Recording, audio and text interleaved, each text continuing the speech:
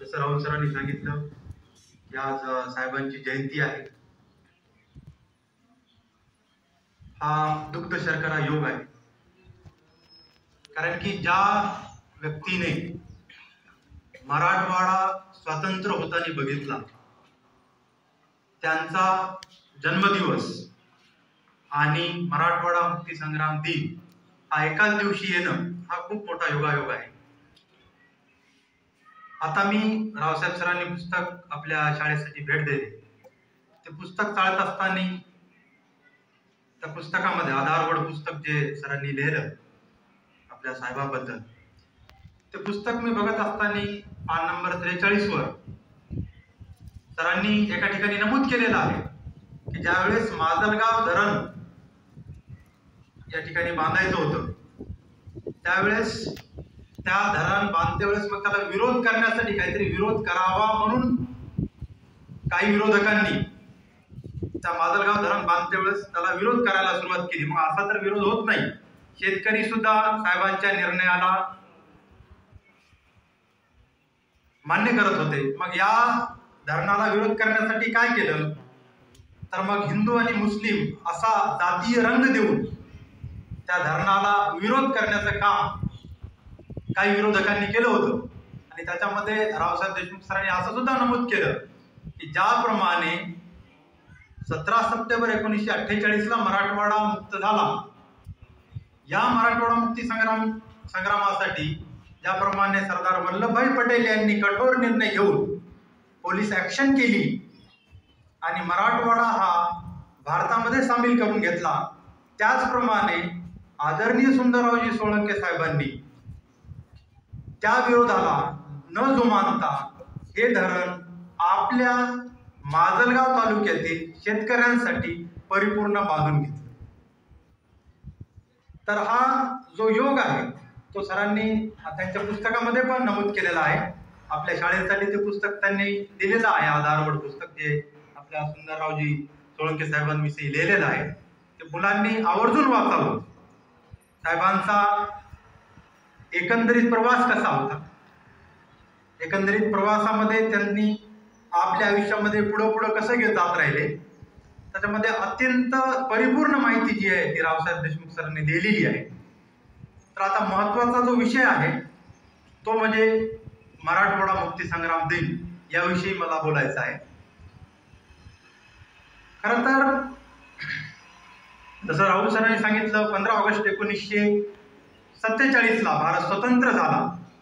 आणि भारत स्वतंत्र झाल्याच्यानंतर तब्बल एक वर्षाच्या नंतर म्हणजे सतरा सप्टेंबर एकोणीसशे अठ्ठेचाळीसला मराठवाडा हा मुक्त झाला. बघा स्वतंत्र आणि मुक्त हे दोन वेगवेगळे शब्द आहेत. मुक्त याच्यासाठी आहे की आपल्या भारतामध्ये जसं राहुल सरांनी सांगितलं वेगवेगळे संस्थान होते. त्याच्यामध्ये तीन जे संस्थान होते एक जम्मू काश्मीर दुसरा मराठवाडा आणि तिसरा जुनागड.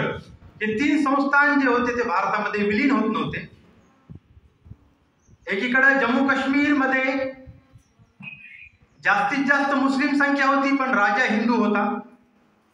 मराठवाड्यामध्ये हिंदू लोकसंख्या होती परंतु राजा मुस्लिम होता. हे दोन विरोधाभास होते. आणि तिसरं होतं जुनागड तिन्ही संस्थान जे होते ते मरा भारता अखंड भारतामध्ये सामील होण्यासाठी तयार नव्हते. म्हणूनच जम्मू काश्मीरला जे आता जे आपलं तीनशे सत्तर कलम आहे ते रद्द करण्यात आलं. ते कलम बहाल करण्यात आलं. राजा हरिसिंगनं सांगितलं की माझ्या जनतेसाठी काही विशेष अधिकार हवेत. त्याकरिता त्यांना तीनशे सत्तर कलम त्यावेळेस देण्यात आलं होतं. लागू करण्यात आलं होतं भारतीय संविधानामध्ये.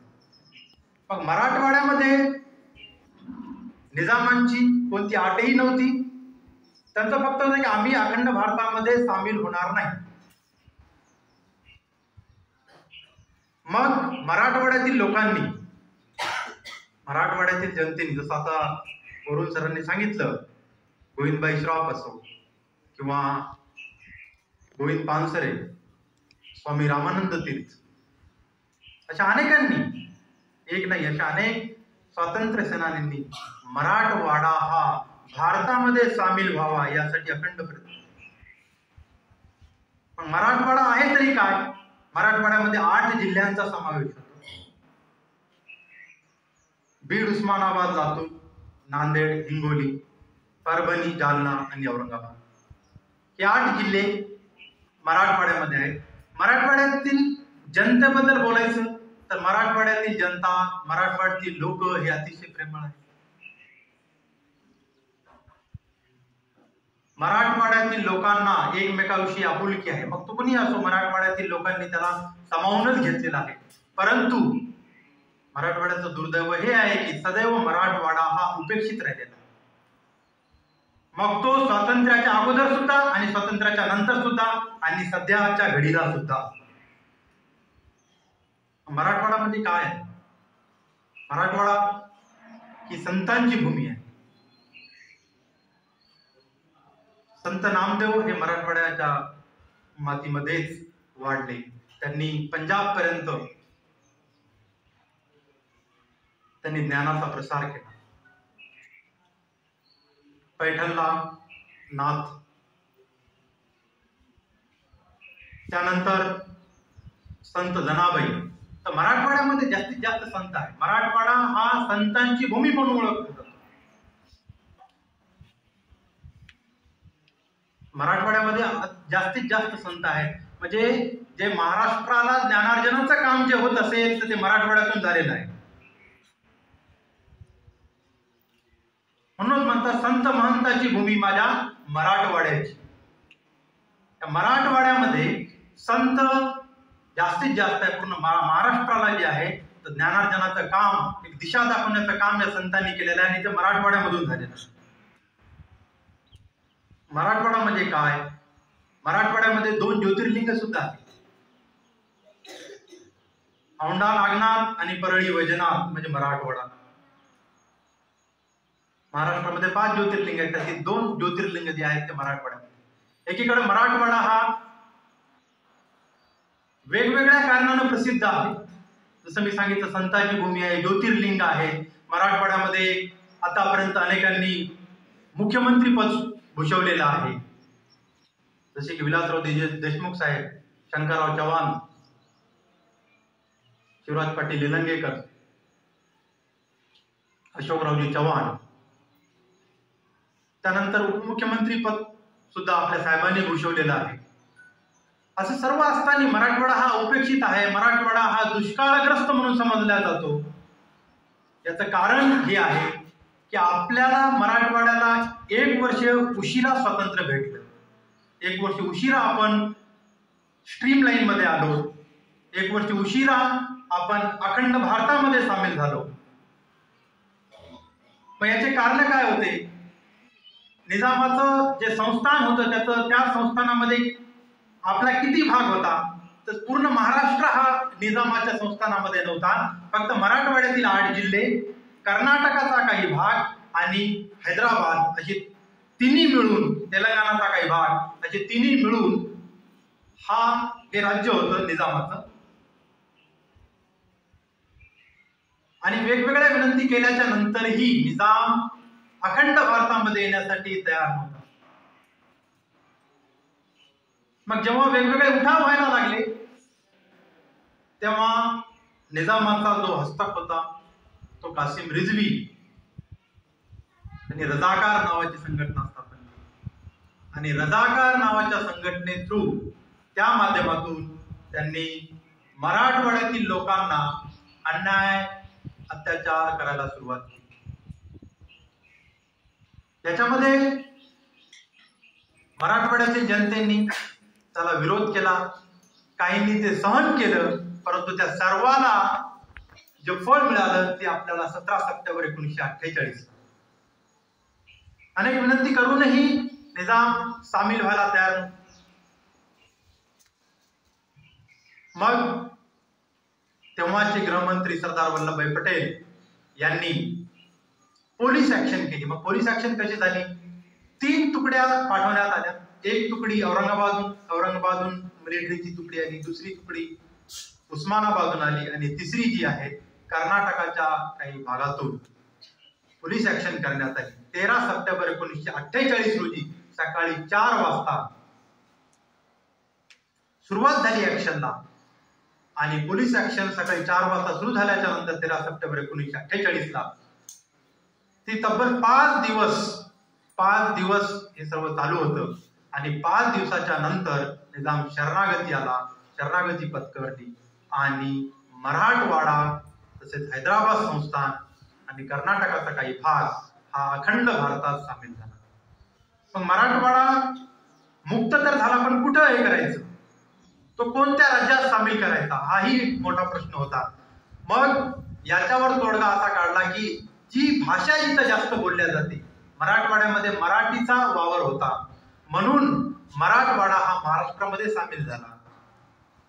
तेलंगणाचा काही भाग जो होता आंध्र प्रदेशचा तो भाग तेलुगू बोलत होता म्हणून तो आंध्र प्रदेशमध्ये सध्या तेलंगणामध्ये तो भाग आहे. तो भाग आंध्र प्रदेशमध्ये सामील झाला. आणि कर्नाटकाचा काही भाग जो कन्नड बोलत होता तो कर्नाटकामध्ये भाग आणि अशा प्रकारे महाराष्ट्र हा मराठवाडा हा निजामाच्या राजवटीतून मुक्त होऊन अखंड भारतामध्ये सामील झाला.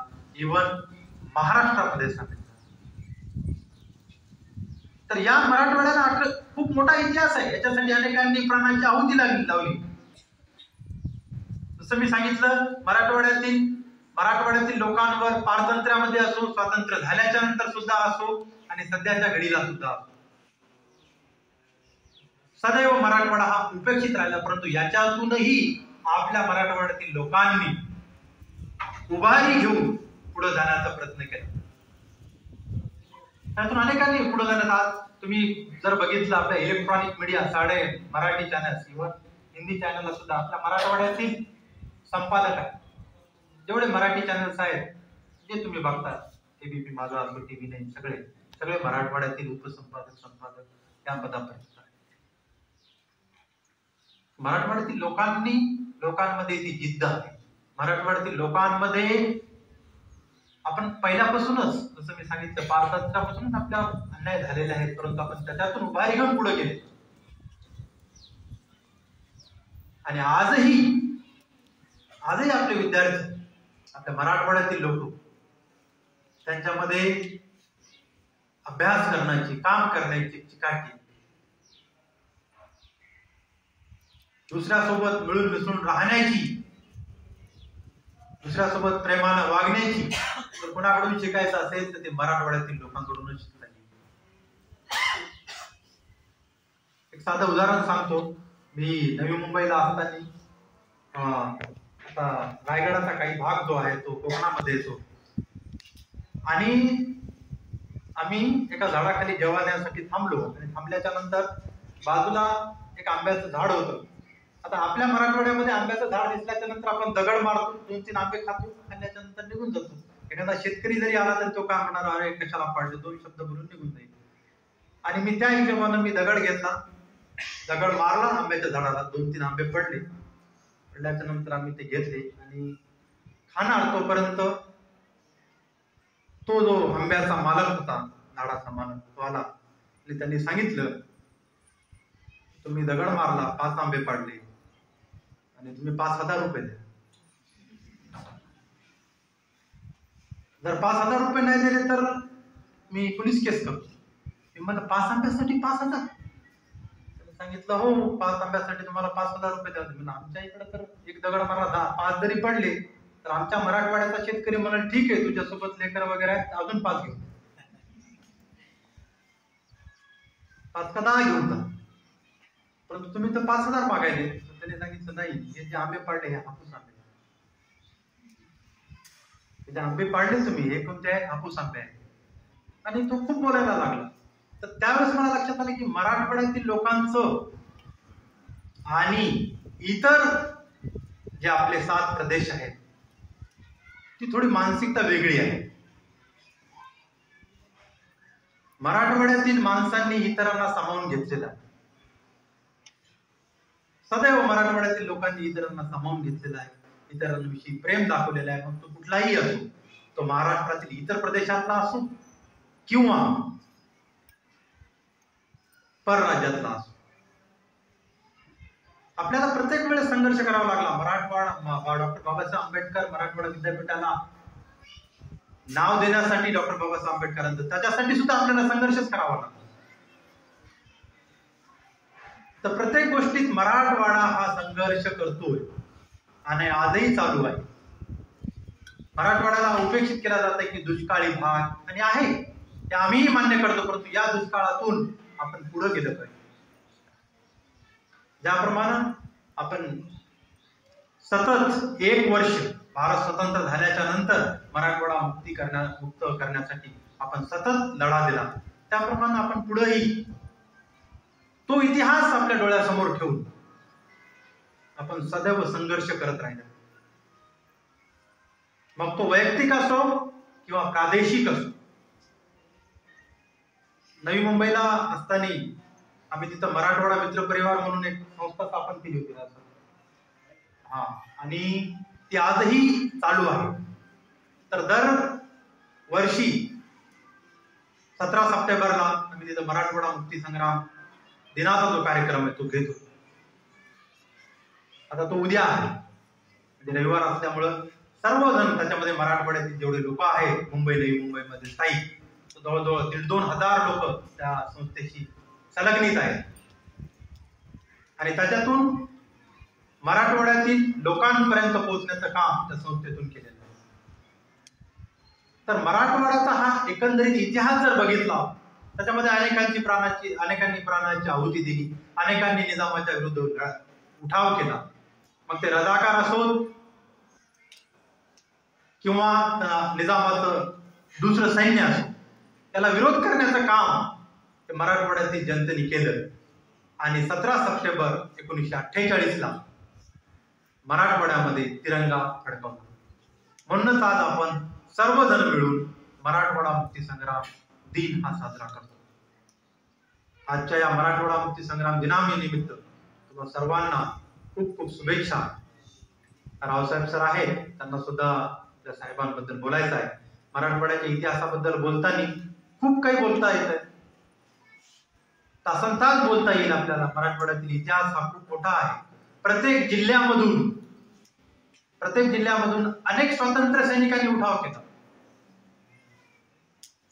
अनेकांनी उठाव केला. जसं परभणीचे सरांनी सांगितलं काहींनी रजाकार येताना पूल उडून दिला. काहींनी आपल्या सहकार्यांना भूमिगत करण्यासाठी मदत केली. प्रत्येक जिल्ह्यामधून स्वातंत्र्य सैनिक होते. त्यांनी मराठवाडा मुक्त करण्यासाठी आपल्या प्राणाची आहुती लावली. अनेकांनी आपले घरदार सोडून भूमिगत झाले. अनेकांनी तुरुंगवास भोसला भोगला. आणि मराठवाडा जो आहे तो मुक्त करून घेतला. असा हा मराठवाड्याचा इतिहास सांगताना खूप अभिमान वाटतो. आणि हा मराठवाड्याचा इतिहास जो आहे आपण जर बघितला तर अनेक तास कमी पडते सांगण्यासाठी. अनेक तास कमी पडते आणि ज्यांनी हा मराठवाडा मुक्त होताना बघितला ते आपले आदरणीय सुंदररावजी सोळके साहेब त्यांच्याबद्दल रावसाहेब सर बोलणार आहेत. त्यांच्याही बोलण्यातून मराठवाड्याबद्दल मराठवाडा मुक्ती संग्राम दिनाबद्दल किंवा जे साहेबांनी बघितलं त्याच्याबद्दल त्यांच्या भाषणातून येणारच आहे. मी जास्त वेळ न घेता या ठिकाणी थांबतो आणि आपण सर्वांना मराठवाडा मुक्ती संग्राम दिनाच्या खूप खूप शुभेच्छा देतो. धन्यवाद.